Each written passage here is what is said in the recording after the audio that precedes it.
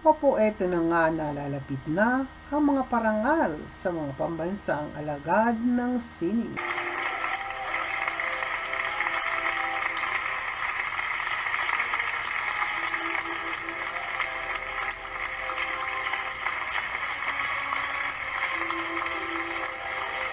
Eksaktong alas 5 ng hapon sa Miyerkules, June 29, ito po ay magaganap sa tanghalang ni Canor Abelardo ng Cultural Center of the Philippines. At isa nga po sa walo na gagawaran ng parangal o tribute na ito ay ang nag-iisang superstar.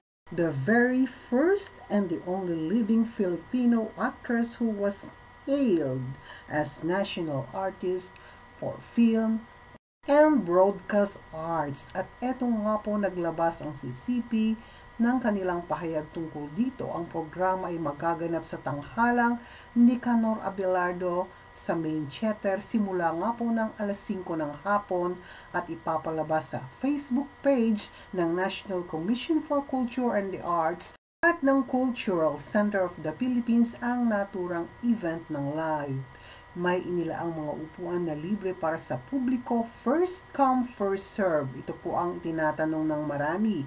Maaari lamang pumila sa CCP ramp mula alas 3 ng hapon para po sa libreng ticket at limited lamang po ang mga upuan at pinaaalahanan ang lahat ng nais na dumalo na sumunod sa health protocols ng sentro at dalhin ang kanilang mga vaccination card.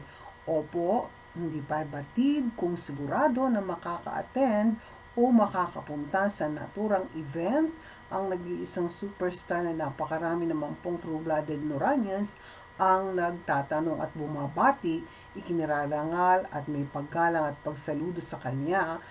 At sa lahat po ng mga kasamahan niyang mga awardees din.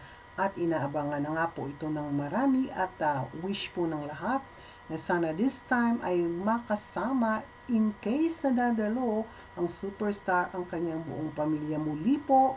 May inila ang libreng mga upuan ngunit first come first serve po at mula alas 3 lamang ng hapon para sa libreng ticket at dalhin ang kanilang mga vaccination card para po makasunod sa proper health protocol ang lahat.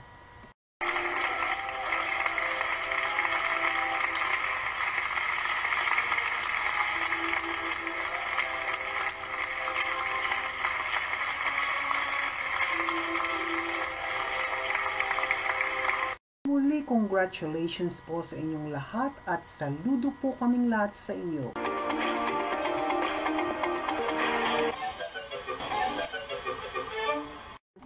Thanks for watching. Don't forget to click like and subscribe.